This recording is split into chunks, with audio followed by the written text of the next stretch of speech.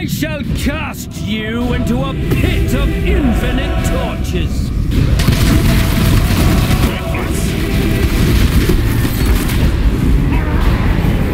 Kirac sent you.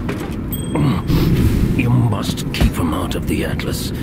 I cannot be saved. He will find only his own doom, endlessly pursuing my rescue. He will end up like me. Tell Zana. she was right. To seal us away, Sirus must